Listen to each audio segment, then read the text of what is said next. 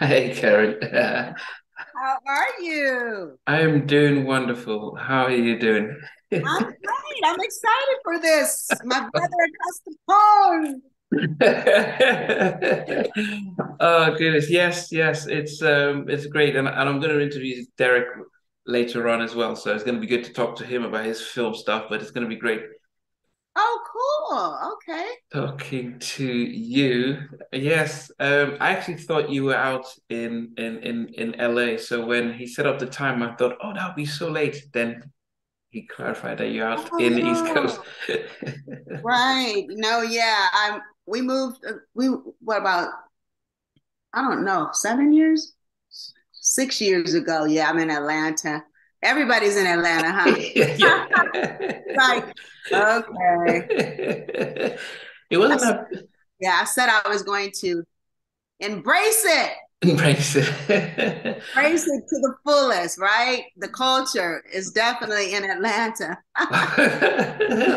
Well, it's a pity you guys um, don't have Hez- Hezekiah. Uh, what a, a, is it? Hezekiah Walker? Is that is a Herschel Walker? Is that him? Oh, oh, you're talking about the um the, the mayor, Was it the the Senate? I mean the senator. Yeah, yeah, yeah. Yeah, no, no, we don't. Nope. Oh, what a pity! What a pity! Yes. Oh, okay. Well, let me let me know when you're ready. Oh yeah, I'm ready. Okay, okay. Well, Karyn, it is a, a great honor to be able to speak with you. Um, I've um, followed your career. When I actually, um, I, you know, I'm here in England. I was born and raised here, but I went to high school in Nigeria, and um, it's amazing how during the 80s, um, how big you were in Nigeria. So I know you go to South Africa quite a bit, but you were global, and and I think sometimes when I speak to a lot of my guests, they don't recognize or realize that they transcended modern America and Europe, but they actually came to Nigeria and the rest of the world. So, you know, it's going to be an honor just listening and hearing your journey and everything. Um, Yes. And uh, you know, I haven't been to Nigeria yet. So I'm hoping this year we'll be doing, you know, a full uh, tour of Africa. Um, just been, you know, South Africa, like we talked about, and um, yes, and uh, Uganda. So okay. Yeah, we're going to be venturing out, and uh, we'll talk about my beloved South Africa. Yes, yes, we, we, we, we will, we will. But oh, we have an international audience and people all over the world tune in and it'll be, I always start off asking where you were born and raised. Born and raised in South Central, but now they say don't call it South Central, but Los Angeles. Um, and um, yeah, very uh, you know, it's it's it's a a place. I wouldn't say it's. I lived in Inglewood when I graduated from high school with my dad, but the other we used to call it South Central. And um, yeah, just a meager, meager beginnings, humble beginnings, and um, beautiful parents, family. I'm the baby of the family, and um, I was a whippersnapper. Oh, what's a, what's a whippersnapper? Just, whippersnapper is a, a one that is just destined, you know, to do something. okay, okay, okay, okay, Like you can't hold her down. She's a whip. She's going. She's going. moving. Okay, okay, okay. keep. You're like, what's a whippersnapper? Yeah, yeah, I have to clarify for the international audience. Oh yeah, that's that southern. You know, my parents are from the south, so from uh, Texas.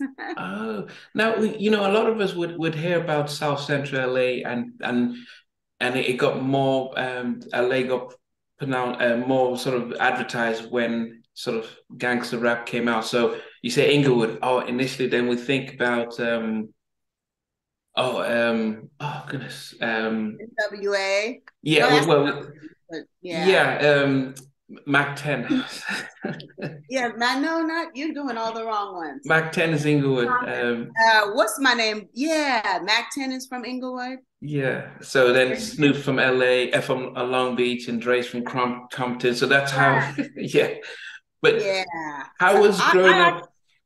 yeah, I actually grew up in in in uh but I went to school in Westchester. So I, w- I went out of my school district. I Okay. I lied and used someone's address so I can get into a better school district.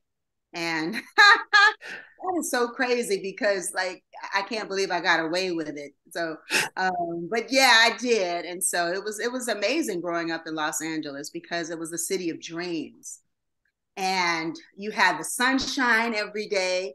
Um, you had, you know, just like I said, people were there. They were dreamers, and they wanted to be somebody, and the sun was there to make us all feel good and happy and like we could achieve it and the beach and um, it's it was definitely a beautiful experience growing up in Los Angeles and um, just being around having access to Hollywood and you know to pageants and it's just how you know acting and singing and dancing and so I I wouldn't trade my childhood for anything. It was amazing.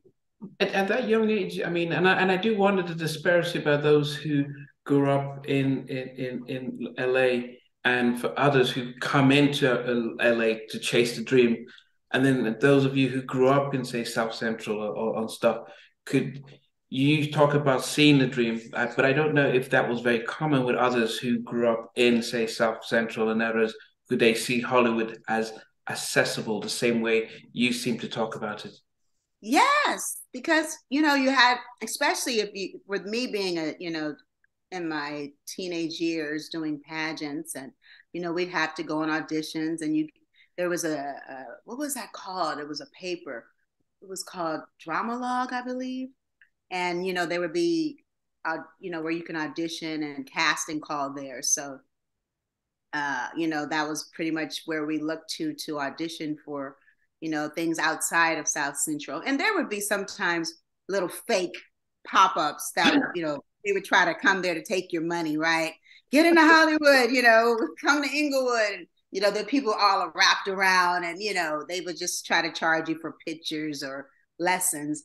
But yeah, I just um it's just the the the spiritual the aspect of just like I said, just LA being such a, a place that the energy mm-hmm. of the of the of the um California can just carry you because like I said, we're, you know, it's either you're to go, like I said, in, in Atlanta, I mean, it's, in Atlanta, it's a different culture. It's a different energy. So I think every city and even, you know, London, of course, you guys have that same rock and roll thing there. It's like, you're just, even like you, you know, you're walking down King's Road and, and, you know, you just see these ageless people that are just like rock and roll, you know, forever. You know what I mean? And it's just like, wow, it's such a music place. So yeah. that's what I'm talking about, that energy.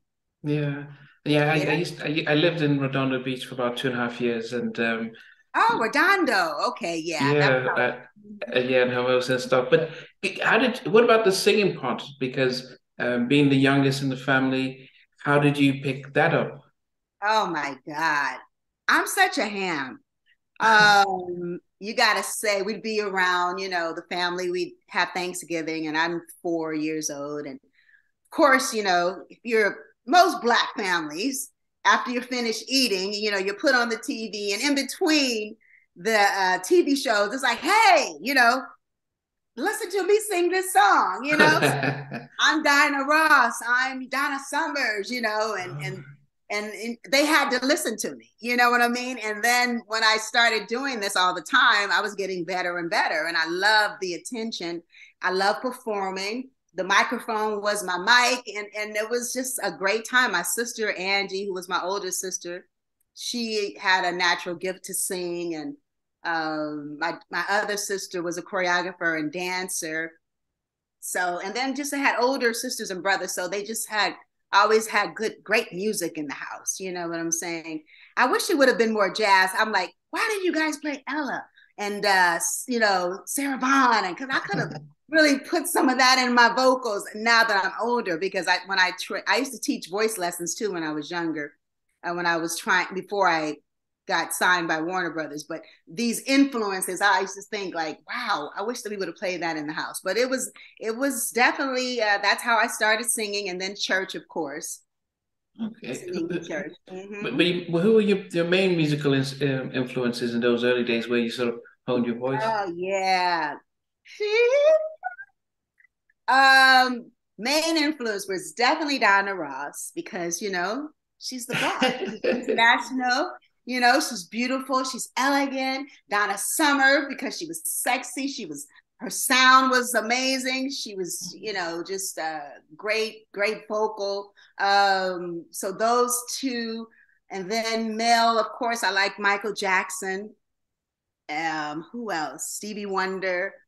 Those were probably my strongest as a kid. And then Stephanie Mills and Gladys Knight and Phyllis Hyman. I went through that phase.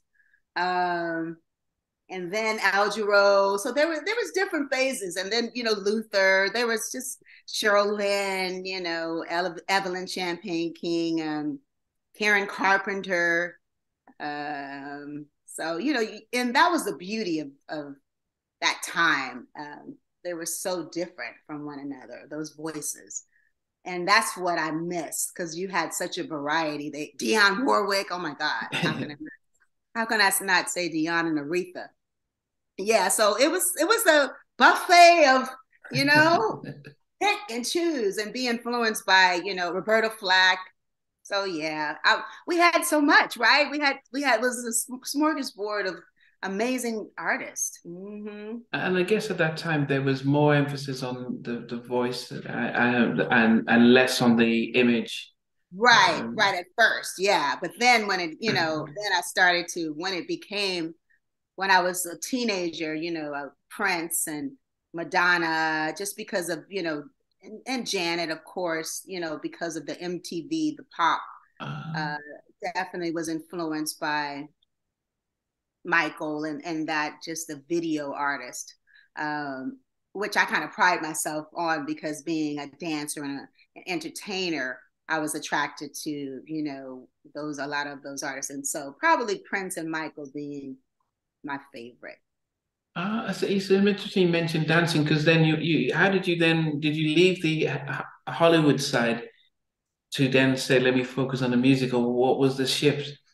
Oh no, I went to a school like, um, do you remember the, the movie Fame at all where they had a Yes, yes, I love that. Yeah. Right. So I went to in the um I was so fortunate to have a um program in the summer and all and and that we went to for underprivileged kids that where we can learn acting singing dancing tap what was it uh and uh, i think some musical instruments and we would put on it was called the ebony showcase theater. And um, every year we would put you know put on an annual show. So you kind of had to be you know know how to do it all. And um, some very amazing, talented people came out of the Ebony Showcase Theater. That um, so I like I said, I I just I wasn't limber enough to dance, and then as a I, I wanted to be. I, I understood it, but I just was. I didn't. I wasn't as limber as my sister and my friend. So I, I, that was a challenge for me as well as when I was. I'm going to go back a little bit. I used to be a track star, so I uh-huh. could have gone and gotten a scholarship. Yeah, I used to be very fast. I would run the the 100 yard dash and the relay and the 220 and so wow. i had record breaking times yeah so i was a i was a track star too but um i felt like i wanted to i had to choose so i because you know it was such a commitment to, mm. to either one so i i chose um the entertainment oh why because uh, yeah i just I kept getting uh, cramps in my leg. Okay. Uh, you know, there was times when I had I had the race run, and it was like for like a trophy for a championship, and I would get a cramp, and right at the last, right, you know, and I just was like, "What is going on?" I, you know, and I, I don't know why. So maybe that was just a sign, like, don't go that way. But you know, and so I said, I just can't keep doing that. It was heartbreaking because I would have the race and lose it because of the cramp. Yeah. So all that work, you know what I mean? So yeah. and I couldn't figure out why, you know, why I was uh, doing that. But so that's what happened. You're bringing, you're taking me back because nobody ever asked me that question. Oh, like, oh, yeah, it was do it? Was the. Yes, Hey guys, thanks for watching. Please remember to subscribe and turn on your notification.